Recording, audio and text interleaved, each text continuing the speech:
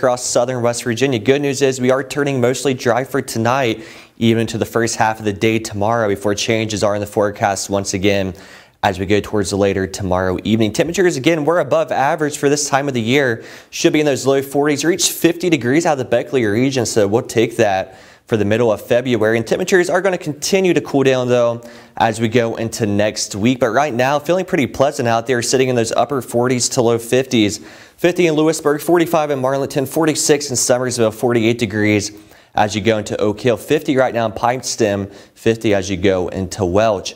Like I said, good, good news is we are staying mostly dry. I Seeing a couple of sprinkles out there for your 6 o'clock hour, but for the most part, staying mostly dry out there for the rest of the night. But as we look back towards our west, seeing our next storm system pushing through Texas into Oklahoma, seeing some heavy showers across Oklahoma, even seeing some snow showers across Texas. That's going to continue pushing southwest to northeast, bringing us a chance for some rain, possibly some snow showers in the forecast as we go over the next couple of days. Looking at those chances of precipitation over the next week, we are seeing those rain chances coming back to the forecast as we go towards later Monday to Monday evening. Then we could transition to a few snow showers early Tuesday morning. Then as we go towards the middle of next week, turning mostly dry before seeing a rain or snow shower coming back once again as we go towards the end of next week. So this is how it times out on future cast, expecting a mostly decent overnight ahead.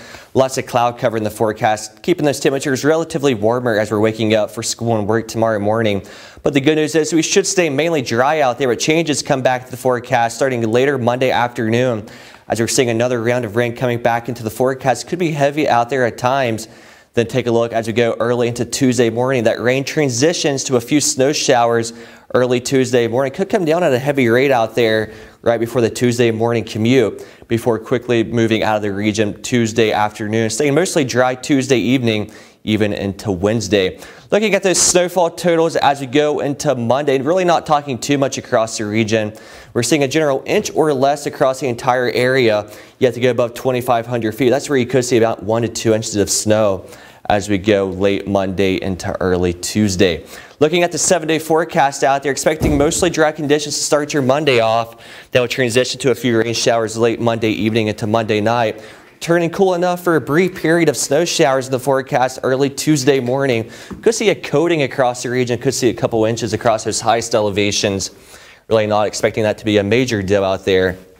Mainly dry Wednesday, Thursday, possibly a few showers or snow showers in the forecast by next weekend.